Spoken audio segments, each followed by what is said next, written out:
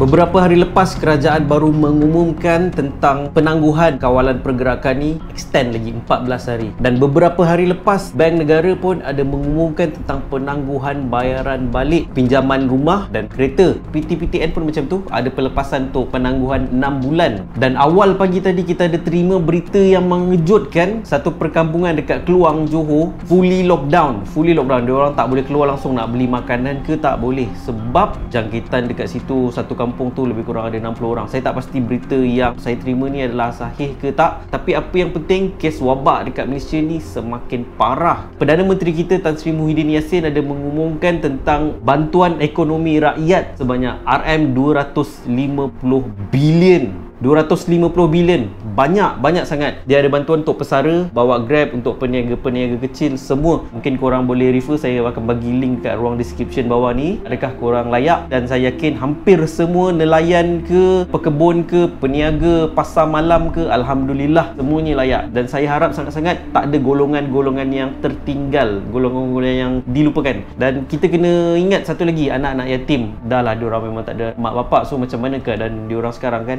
Dan satu satu lagi info. Gaji pak menteri pak menteri semua dipotong selama 2 bulan untuk menanggung kos-kos tabung COVID-19 ni apa yang saya nak sampaikan dekat sini pada korang semua satu je berjimat. Berjimat cermatlah kita semua dalam situasi macam ini. Jangan sesekali kita ajar anak kita hari-hari tapau MACD mentang-mentang dapat bantuan mentang-mentang dap- baru dapat gaji. Please jangan. Nenek moyang kita pernah merasa makan nasi dengan garam waktu zaman jajahan Jepun dulu. So mungkin ini adalah giliran kita semua pula. Macam mana kita nak rasa darurat makanan kurang? So inilah masanya. Dan apa yang saya nak sampaikan dalam video ni adalah yang pertamanya apakah mekanisme penangguhan bayaran rumah dan kereta selama 6 bulan ni? Dan nombor 2 saya nak ceritakan sikit apakah langkah-langkah yang kita boleh ambil untuk kita survive untuk kita bertahan selama berapa minggu lagi. Dan kita tak pasti adakah tempoh ni akan dilanjutkan lagi kita tak pasti. Tak ada siapa yang boleh pasti apa yang akan berlaku dalam masa 1 bulan 2 bulan 3 bulan akan datang. Mungkin kita akan berpuasa puasa dekat rumah mungkin kita akan beraya dekat rumah kita tak pasti. So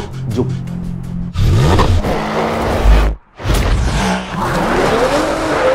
Okey, yang pertama sekali saya nak terangkan tentang penangguhan bayaran rumah dan kereta selama 6 bulan. Ada satu voice message yang tengah viral dekat WhatsApp-WhatsApp group sekarang ni yang dikatakan dia adalah CEO daripada sesetengah bank, saya tak pasti. Tapi jom kita dengarkan. 10 saja, 10 saja kita dengarkan apa yang dia nak sampaikan. Housing loan generally is cheaper than your investment returns anywhere else. Even if you have the money, even if you are filthy rich now, By taking the moratorium, you pay interest, low interest for six months. This money you can roll.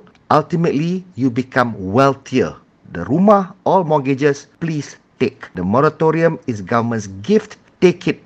So therefore, as far as the car hire purchase, take the moratorium as well because there is no increase in interest unless the bank kata kena buy at least interest. Itu lain cerita. But there is no increase you punya uh, repayment just bergenjak tambah saja 6 bulan 6 bulan holiday. But you pay sama banyak cuma later saja. So it's like a free loan. Kalau you kaya you take the moratorium high purchase you become wealthier. Kalau you sederhana you biasa-biasa okay-okay you take the moratorium on car loan you become better off and wealthier. Kalau you teruk you terlelah nak bayar you take the moratorium on car loan you also become better you have a breather. So therefore car loan punya moratorium take no brainer. Sekali lagi saya tak pasti mesej ini daripada mana. Adakah dia betul CEO yang dia perkatakan ataupun suara orang lain. Tapi mesej yang dia nak sampaikan make sense memang logik. Apa yang dia nak sampaikan, walau kaya macam mana kita pun, walaupun duit kita saving banyak macam mana pun, dia kata jangan bayar hutang kereta, jangan bayar hutang rumah. Sebab duit yang kita ada sekarang, tak kira lah uh, bantuan, gaji ataupun duit simpanan, please simpan. Prioritikan untuk beli makanan. Nombor dua, standby. Standby kalau anak kita tiba-tiba sakit, anak kecil ataupun kita ada emergency sangat-sangat, mak bapak sakit ke, kita tak tahu. So duit ni lah yang kita standby. Kita tak tahu apa yang bakal bakal terjadi satu bulan dua bulan akan datang. Duit yang kita ada cash ni jangan bayar hutang. Walaupun kaya macam mana sekalipun interest kereta dan rumah ni sangat-sangat kecil untuk kita ambil risiko untuk kita bayar kereta tu. Dan kita tak rugi pun kalau kita bayar interest lebih dan benda tu benefit lebih lagi kalau kita dapat cash sekarang. Sebab daripada bank negara dan semua bank pun dah bagi pelepasan 6 bulan. So buat apa kita risau kalau kita tak bayar duit kereta? Takut ada orang tarik. Ya memang kita akan ada rugi sikit. Tapi kerugian tu jauh-jauh lebih kecil kalau kita nak bezakan dengan apa yang kita perlukan hari ni. Kemudian dia ada cerita pasal credit card. Credit card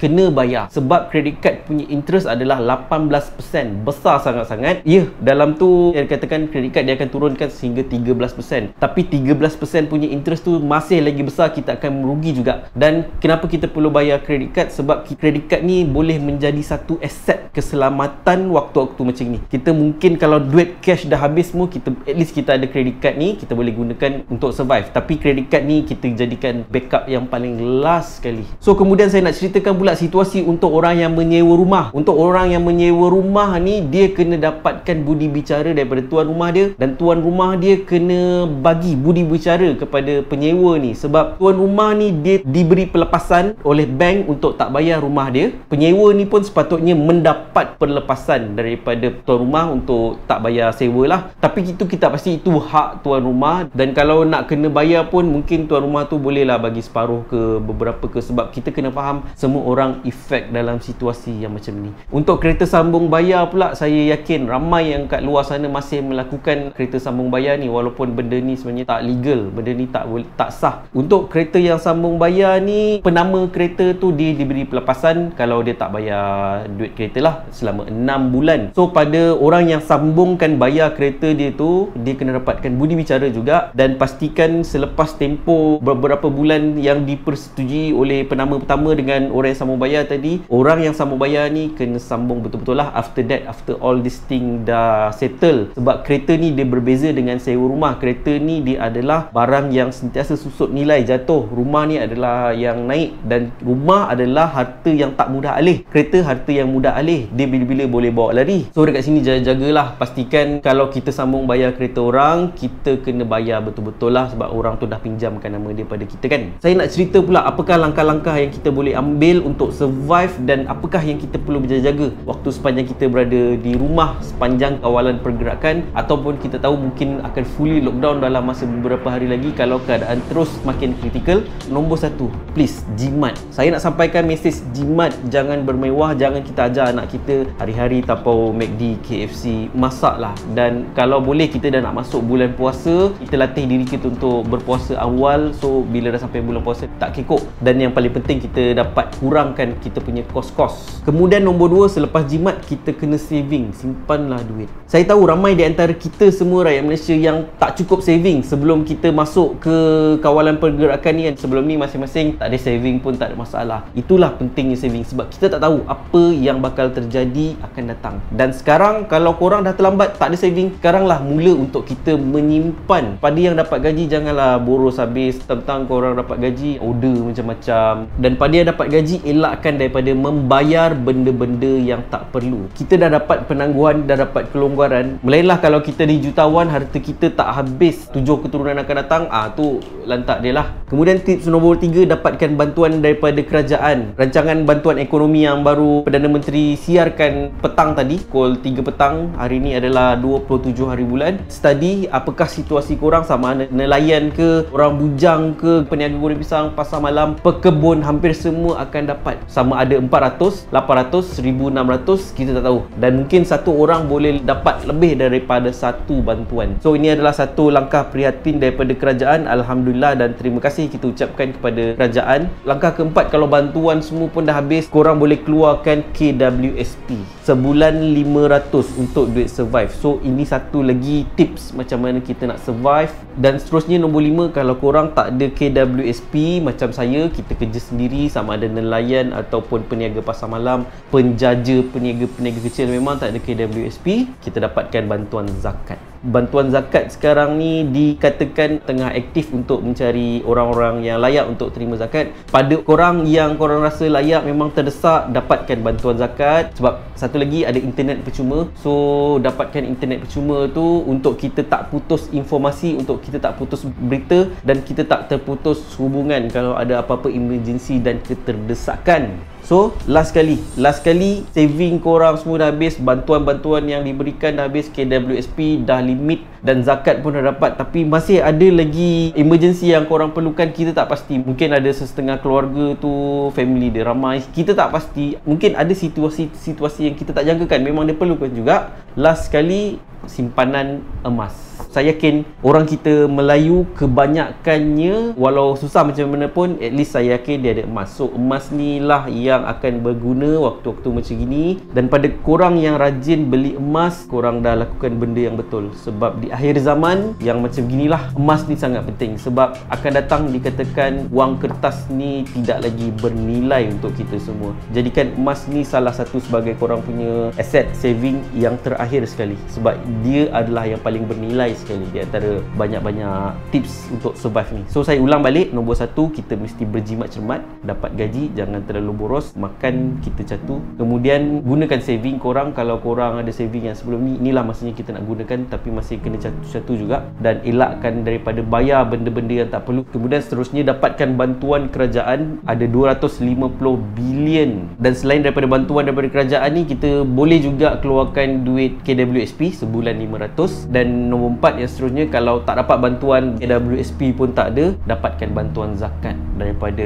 jabatan agama negeri masing-masing lah. Kemudian last sekali simpanan emas. Simpanan emas tu kalau dapat jangan guna awal lah. Kita gunakan yang memang dah last sekali sebab benda tu benda yang paling berharga. Akan berharga pada waktu akan datang. Korang tunggu je. Emas kemudian selain tu saya nak menasihatkan juga bila kita menggunakan elektrik dekat rumah ni berjimat cermat lah mulalah tak ada air sebab kita tak pasti mungkin akan ada catuan air tak ada air masak, air yang boleh diminum dan penuhkan tangki-tangki air korang. Makanan, mula simpan stok makanan yang tahan lama macam biskut, sardin, beras. Kita tak tahu kalau tiba-tiba kerajaan isytiharkan fully lockdown, by the time kita tak ada simpan makanan yang cukup, nak keluar rumah pun memang tak boleh. Dia kata kalau fully lockdown, nak keluar rumah beli barang makanan pun tak boleh. Kalau boleh pun kedai pun tutup. Semua kedai tutup kalau dah fully lockdown. So dekat sini kita kena bermula simpan makanan kita. Simpan kat rumah. Barang-barang asas lah beras tepung bawang minyak masak biskut lebihkan. Roti tak tahan lama. Sardin kita kena duduk.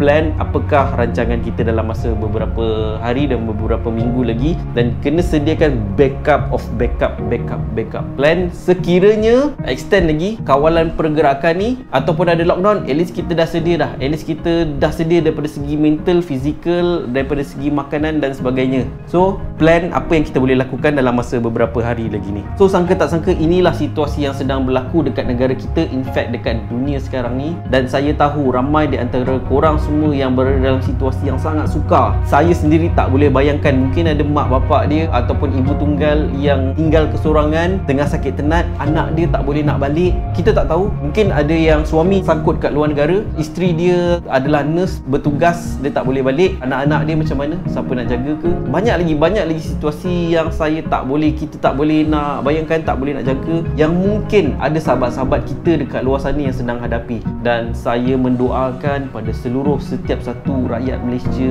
semoga kita semua dilindungi semoga kita diturunkan diberi bantuan oleh Allah Subhanahu Wa Taala dan semoga benda ni cepat berlalu dan semoga Allah ringankan bebanan kita. Insyaallah saya doakan. Semoga segala info-info dalam video ni bermanfaat pada korang semua dan terima kasih pada korang yang dah klik button subscribe dekat bawah ni dan saya harap korang dapat duduk dengan ahli keluarga korang sebentar dan korang dapat plan apakah yang korang akan rancangkan dalam masa beberapa hari ni berkenaan dengan ekonomi korang, masa depan korang dan bekalan makanan. Sebab saya yakin ramai yang dah kehilangan kerja, ramai yang tak dapat nak berniaga, especially peniaga-peniaga kecil, ramai yang putus bekalan pendapatan dan saya yakin negara pun dalam keadaan honestly ekonomi dia dah sangat-sangat jatuh. Percayalah bila benda ni berakhir, IMF Bank dan dunia akan datang dan time itulah dia akan offer pinjaman daripada bank dunia dengan kadar interest yang paling tertinggi. Percayalah tak ada satu negara pun yang boleh elak daripada meminjam IMF inilah permainan dia dan itulah yang kita terpaksa terima. Sebab itulah saya menasihatkan anda semua nombor satu berjimat nombor dua simpanan nombor tiga emas. Emas. Saya Nasabullah strategi fight conquer.